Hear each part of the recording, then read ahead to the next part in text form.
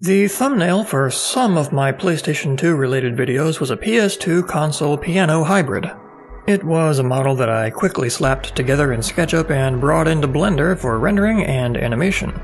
It's a relatively low detail and low accuracy model, so for fun, I thought I'd create a more detailed and slightly more accurate version.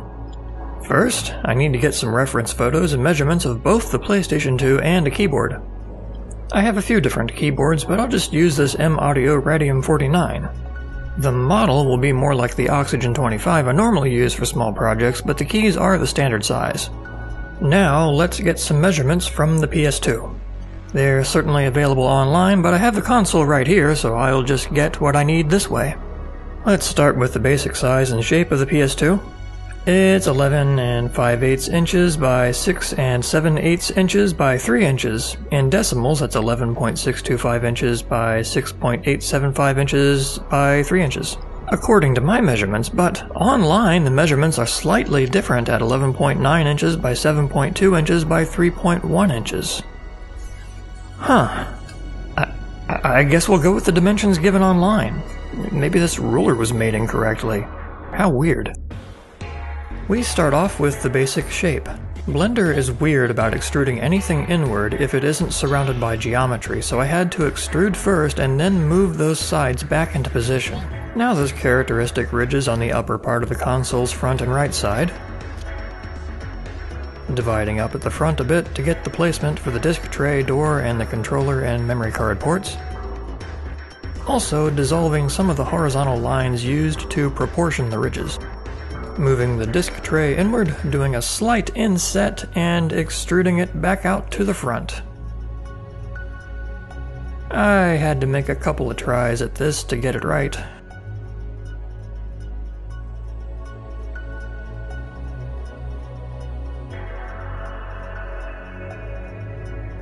Alright, now on to the controller and memory card ports. We do things in a similar fashion to how the disk tray was made.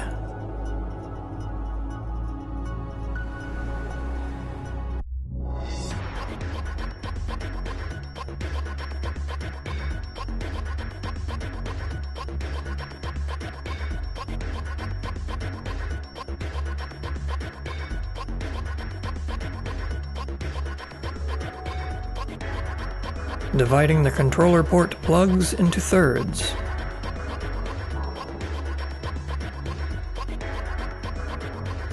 And extruding them. Adding a slight bevel.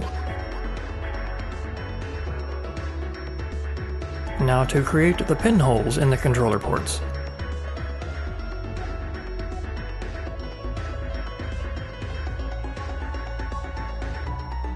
This is done using a boolean operation and then making the pins hidden.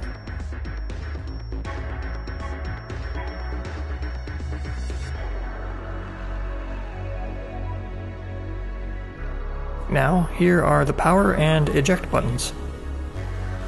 The ridges on the console make it easy to know how they are placed and exactly what size they are. The eject button here should have a bit of a slant outward.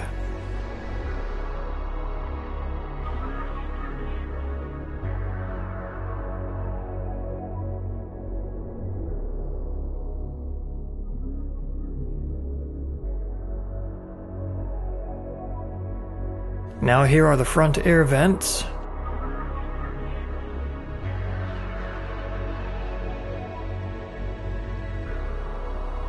I had to do a couple of tries on these too.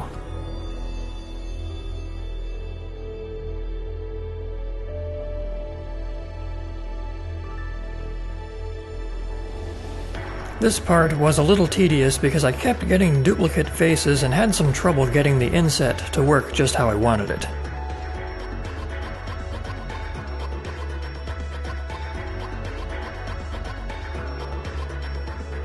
There. Finally. Front air vents done. Now the section for the USB and IEEE 1394 aka Firewire ports. I should note that I don't put most of the text and decals on this model. Things like the USB and Firewire port labels, for example, also any stickers on the back.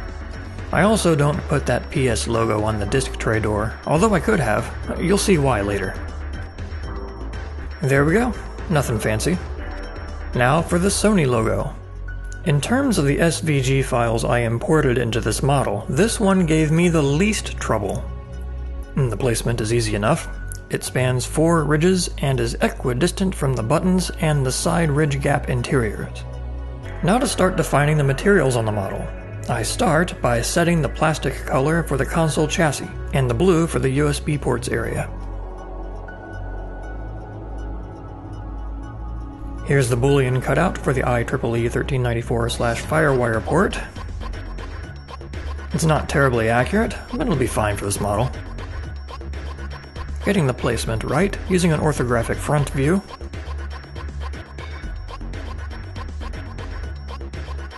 Now to add the power switch on the back along with the power connector.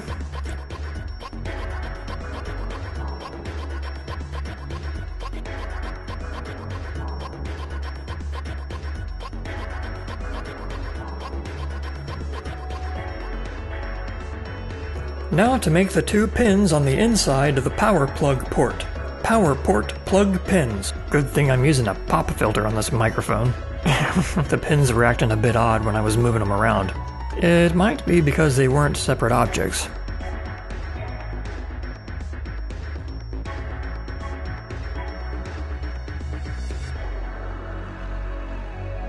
Now to create the vents for the fan.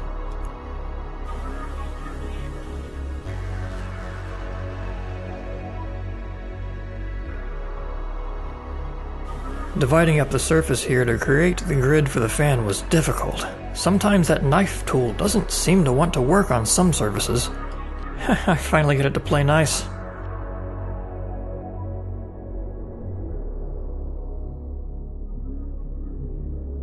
Now to create the fan.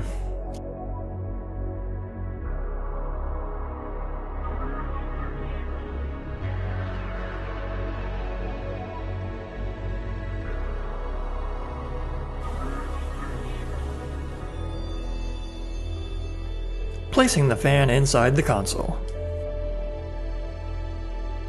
Let's put something behind that fan inside the console so that the back side of the front geometry doesn't show and make the whole thing look empty. Animating the fan spinning, took a few tries to get it to rotate around the x-axis as intended. There we go. Not quite as loud as the real thing, though. Now to make the rubber feet,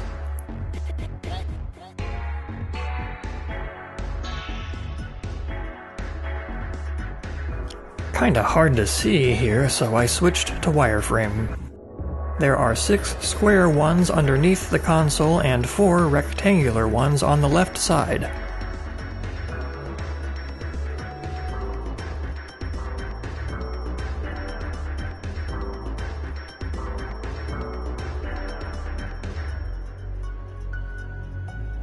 Adjusting the material for the front Sony logo. Ah, because I accidentally left the keyframe record button on, the feet and the Sony logo were animated. I had to fix that and reposition the feet. There we go.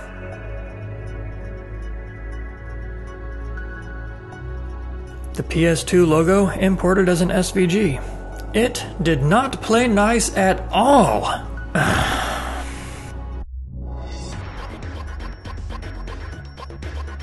Yikes. That geometry in the logo was all messed up. I had to work on it in Illustrator off screen to fix it. Ah, there. Cleaned up the SVG and was able to extrude it. It's almost right, except there's a boolean error on the 2. I fixed that by using Mesh, Cleanup, Merge by Distance. I apply that boolean and set the color of the PS2 logo to blue. Now to create the LEDs that are part of the power and eject buttons. The power LED, when the console is on, is green, and the eject button LED is violet.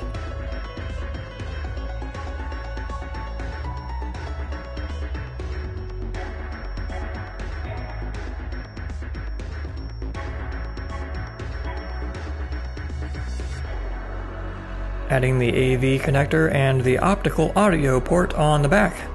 I don't spend a whole lot of time trying to get the placement of these completely accurate. And now the expansion port door. Fun fact, the expansion port is an excellent place to keep some spare snacks for those long gaming sessions. But I guess you could also install a hard drive there too, if you wanted. Well, now we have the PlayStation 2 model done. But we're not stopping there. This model is going to have a piano built in.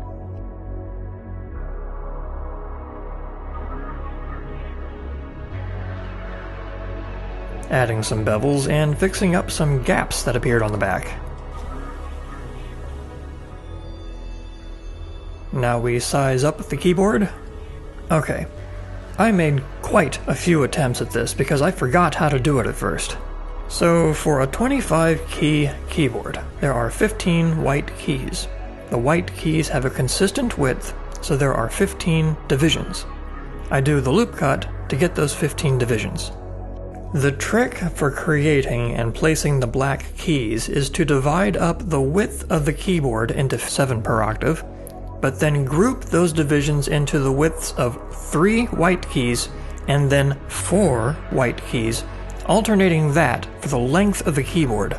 And then those groupings should be given 5 and 7 divisions, respectively, again alternating for the length of the keyboard. Took me a while to remember how that was done. So, for anyone planning to model piano keyboards, that's the easiest way I've found to remember. After having the key widths properly defined, the rest can be done visually.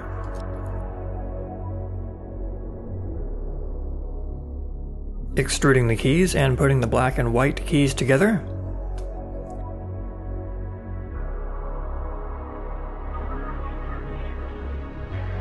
Adding bevels to the black keys. Now we put the keyboard into place on the main model. And all that's left are the finishing touches. I adjust and add lights, put in a ground plane, and create a rotating animation.